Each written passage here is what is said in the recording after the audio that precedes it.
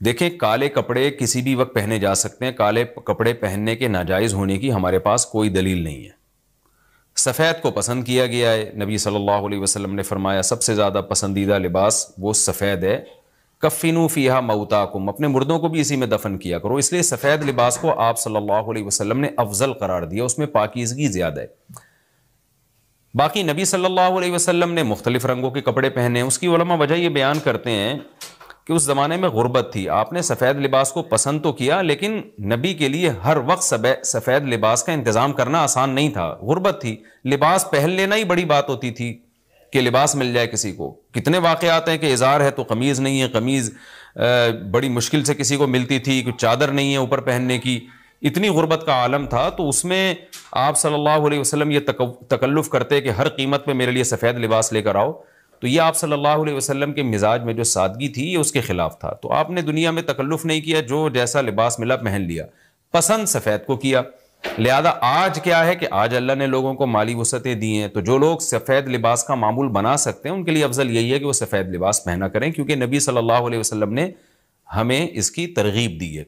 खुद क्यों नहीं पहना? उसमें तकल्लुफ़ था, यानी प्रॉपर इंतज़ाम करना मुश्किल था तो जो आया पहन लिया आप सल्लल्लाहु अलैहि वसल्लम ने क्योंकि एक चीज़ मुश्किल है उसमें इतना तकल्लुफ़ करना ये खुद भी तो नबी के मिजाज के ख़िलाफ़ है तो इसलिए हम कहते हैं कि भाई जो मिले पहन लो लेकिन अगर लोग आजकल तो लिबासों में तकल्लुफ़ वैसे ही बहुत हो रहा है तो आपने जब सिलवाने ही हैं ख़रीदने ही हैं तो सफ़ेद को तरजीह दें आप उसमें पाकिजगी ज़्यादा है उसमें तहारत ज़्यादा है आप सफ़ेद लिबास के आदि हो गए आपसे कलर वाला लिबास पहना नहीं जाएगा मैंने तो पंद्रह बीस साल मैंने सफ़ेद लिबास पहना है तो मुझे पता है कि फिर कलर वाला लिबास पहन, नहीं पहना जाता। सफ़ेद में पाकिजगी इतनी है। अब मैं पहनता हूँ कलर वाला लिबास, वो वजह उसकी है कि बाज़ दफ़ा घर वालों का इसरार होता है, बाज़ दफ़ा कैमरे की रिक्वायरमेंट होती है। वो कैमरा सफ़ेद लिबास को कैच नहीं कर पा रहा होता, वो कैमरा मैन कह रहा होता है, भाई, कोई और कलर, कोई और कपड़े पहन के वगैरह वगैरह। तो खैर, मेरा अमल तो कोई हजत नहीं है, लेकिन अफजल यही है कि सफ़ेद लिबास को तरजीह दी जाए, पहना जाए। और सलाह अक्सर उमूमन हमने देखा है कि सफ़ेद लिबासी को तरजीह देते हैं। कलर वाला भी जायज़ है, लेकिन बेहतर यही। तो मुहर्रम में भी सफ़ेद ही है, सफ़र में भी सफ़ेद ही है रबी अव्वल में भी सफ़ेद है। तो मुहर्रम में सफ़ेद के बिल्कुल उलट कर लेना, काला पहन लेना, ये तो बिल्कुल सफ़ेद के अपोजिट हो गया ना। तो हम ये नहीं कह रहे कि काला लिबास पहनना नाजायज़ है, लेकिन आप सफ़ेद से अगर आपने यूटर्न लिया भी था तो ग्रे पे आ जाते ग्रीन पे आ जाते, एकदम आप ब्लैक पे आ गए। तो बहरहाल ये, यानी कराहत से खाली नहीं है, इसका मामूल बना लेना। तो नाजायज़ मैं नहीं कह रहा, थोड़ा सा नापसंदीदा है कि आप सुन्नत पर अमल नहीं कर रहे तो सुन्नत के बिल्कुल अगेंस्ट तो ना जाए ना। आप यानी बिल्कुल ही काला पहन लें तो बिल्कुल इसके अपोजिट है। जायज़ है काला पहनना भी, लेकिन बेहतर बहरहाल नहीं है। और मुहर्रम में काला पहनना तो हमारी राय में बिल्कुल नाजायज़ है, क्योंकि ये शिया हजरात की अपनी एक राय है, उनकी अपनी एक दलील है, उनका अपना एक कॉन्सेप्ट है। वो ये है कि मुहर्रम में हज़रत हुसैन शहीद हुए थे तो एक बड़े गम की बात थी तो हम गम मनाने के लिए काला कपड़ा पहनते हैं। तो उनका मसलक है, वो जैसे मसलक पे अपने अमल करना चाहें, वो अल्लाह के सामने जवाब दे होंगे। हम किसी के मसलक पे तंज नहीं कर रहे, हम कोई फ़िरकवारियत और तशद की बात करना मुनासिब नहीं है, मुल्की हालात इसके मुतहमल नहीं है। लेकिन मैं अहल सुन्नत वल जमात हजरात से कहता हूँ कि आप ये फ़ैसला करें, भाई आप या तो पूरे शिया हो जाएँ या पूरे सुन्नी हो जाएँ। तो अगर आप अहल सुन्नत वल जमात को फॉलो करते हैं और अहल सुन्नत वल जमात के यहाँ जो कुरान और हदीस और सहाबा, ये हजत है। तो हमें तो कुरान और हदीस में कहीं भी नहीं मिलता कि गम में तुम काले कपड़े पहनो या गमों को मनाओ। कुरान में क्या है? अल्लादीन इदा असाबत हम मुसीबत कालू इन्ना व इन्ना राजिऊन। अहल ईमान को जब कोई मुसीबत पहुँचती है तो वो कहते हैं, हम अल्लाह ही के लिए हैं और हमने अल्लाह ही की तरफ़ लौट कर जाना है। वो सब्र करते हैं। हज़रत हुसैन रज़ी अल्लाह तु की शहादत, ये बहुत बड़ा गम है, बहुत बड़ा गम है। लेकिन उस गम को हर साल मनाना इसके लिए शर्य दलील की ज़रूरत है। अहल बैत की तालीमत को फॉलो किया जाएगा। आप किसी की मोहब्बत में उसकी तालीमत को नहीं तोड़ सकते। अहल बैत की भी यही तालीमत है कि सब्र से काम लेना चाहिए हमें। और गम मनाना भी अगर किसी का हो ना, जैसे आपके वालिद का इंतकाल हो गया तो उसमें भी शरीयत आपको इजाज़त नहीं देती कि आप काले कपड़े पहने गम मनाने के लिए। बल्कि उसमें भी शरीयत क्या कहती है कि गम पे सब्र करें। जो आँसू आप रोक सकते हैं, उसको बहाएँ नहीं। और सब्र करें। तो गैर यानी इख्तियारी तौर पर जो आपको रोना आ रहा है, वो मुआफ है। तो जब जब गम पहुँचा हो, उस वक्त शरीयत आपको गम के तौर पे काले कपड़े पहनने की इजाज़त नहीं दे रही। तो जब गम 1400 साल पुराना हो और हर साल उस तारीख पे आपको मनाने की शरीयत कैसे इजाज़त दे रही है ये तो एक तरह की बरसी हो गई ना।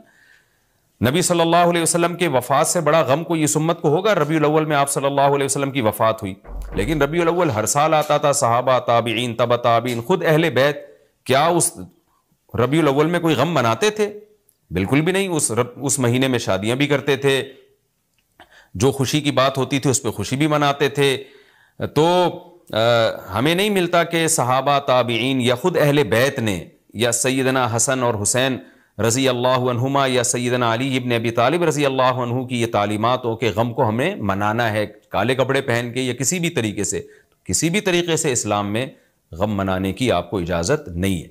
बाज़ लोग ये दलील देते हैं कि हज़रत हुसैन रज़ी अल्लाह तु का गम तो नबी ने भी मनाया है और नबी सल्लल्लाहु अलैहि वसल्लम ने जब ये बताया कि उम्मत मेरे नवासे को शहीद करेगी तो आप रोने लगे। तो देखें, जब नबी को इत्तला मिली थी तो आप गमजदा हुए तो आपका रोना बिल्कुल बजा था। तो किसी को ये इत्तला मिले कि फला जगह ये वाक़ हो गया है, उस पर उसको गम हुआ हो और वो रो लेता है तो इसमें कोई हरज नहीं है तो नेचुरल है। लेकिन क्या नबी सल्लल्लाहु अलैहि वसल्लम हर साल यानी जिस दिन आपको वही के ज़रिए पता चला कि सईदना हुसैन इबन अली रज़ी अल्लाह तु पे जुल्म होगा तो क्या हर साल उस तारीख को आप सल्लल्लाहु अलैहि वसल्लम रोया करते थे? बिल्कुल भी ऐसा नहीं है। तो गम की इत्तला जिस वक्त मिली हो, उस वक्त रोना आ जाना, ये नेचुरल है, लेकिन हर साल प्रॉपर उस रोने को प्रॉपर तरीके से मनाना या काले कपड़े पहन के उसको मनाना, ये तो बिल्कुल इस्लाम में नाजायज़ है। हमारे पास इसके जायज़ होने की कोई दलील नहीं है। तो शिया हजरात जो कर रहे हैं आप, उनको करने दें, उनको जाके ना छेड़ें आप। उनको तंज ना करें वो उन, उनकी जो राय है वो उस पर अमल करें। इस्लाम में फ़िरक़े तो हैं हमेशा से हमने तो ये देखना है कि कौन सा सही है हमने तो उसको फॉलो करना है।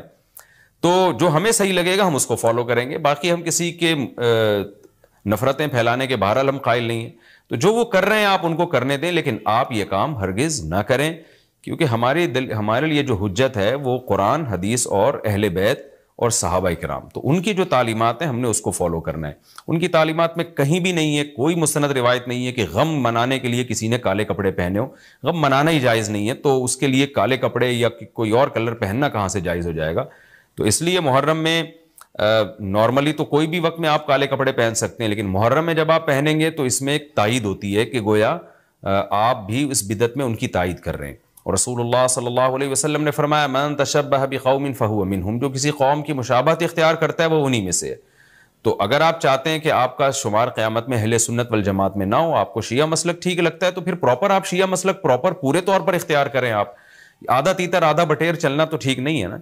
और अगर आप चाहते हैं क़्यामत में आपका शुमार अहल सुन्नत वल जमात में हो तो फिर मुकम्मल अहल सुन्नत वल जमात को फॉलो करें आप। तो उनको जो है अपने हाल पे छोड़ दें। मैं फिर बता दूँ, मैं लड़ाई झगड़ों का कायल नहीं वो शिया हजरात आते हैं, यहाँ पे बैठते हैं, गपशप लगाते हैं, चाय पानी भी चलता है।